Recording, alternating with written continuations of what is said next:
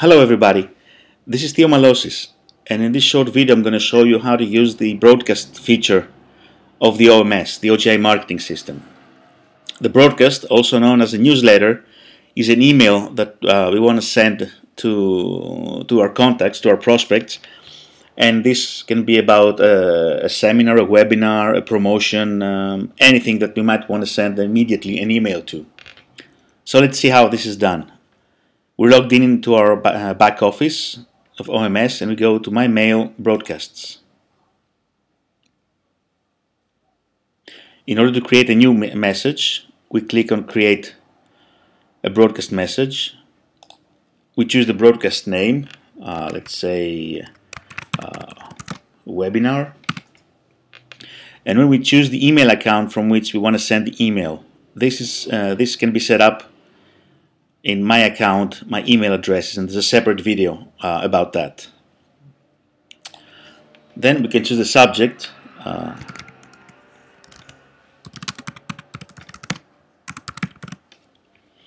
and then we can uh, we can write our message. Let me use this text as message, and then we can do uh, we can format the text as we wish. Change colors, uh, change words or phrases into links by using this button. And let's say I want to send my prospects to this page. And don't worry if this is all Greek to you it's also Greek to me. We paste the URL and now this word has become a link. We can also insert pictures by cl clicking the appropriate image and we can use either pictures that we've already uploaded uh, to the to the OMS server or we can choose to upload a picture uh, at the very time from our computer. We can choose uh, the size, uh, the alignment. Oops, sorry about that. Click OK, and we can also change the background color.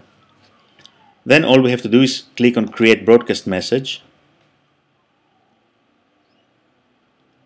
And OMS takes us back to the list of all the of, of all the broadcasts we've created. From this list, we can use to, we can choose to delete um, a broadcast message. We can choose to rename it. We can choose to edit it, change all the information about it. And uh, if we click send, we have the option to choose uh, the pages or the contact lists uh, with the prospects to which we want to send the, the message. We can also schedule when we want to send the message, which can be now or it can be at a specific day and time. For the moment, I'm just going to go. I'm just going to go back, so I won't send the uh, the broadcast right now. We can also go to the statistics and watch the statistics of this of the specific message. So let's say we're going to go. We want to go to this broadcast click statistics. And then OMS shows us full statistics of the, of the broadcast. So we can watch we can see who opened the email the specific time they opened it whether they clicked uh, on the link or uh, and the specific time they clicked on the link. We can choose to edit the information on the specific prospect. And we can also choose to see uh, how the how the prospect re responded to all the emails uh, they received. Another important feature of a broadcast is that when we use an autoresponder, and uh, for this video let me choose this one,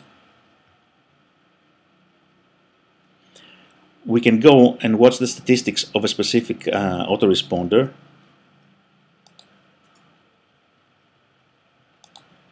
I'm going to choose the first one. And then, depending on how the prospects responded to the to the email, we can choose to send a broadcast to people who opened our email, to people who didn't open, to people who clicked on it or who didn't click to it. Or we can even delete contacts who haven't opened the message if we choose that we don't. We decide that we don't want to bother them, uh, bother them anymore. So this is all uh, about broadcasts on OMS. Um, if you like this message, this video, you can subscribe to my channel, Malosis Plan B, and I'll be happy to see you in another video. Take care. Bye bye.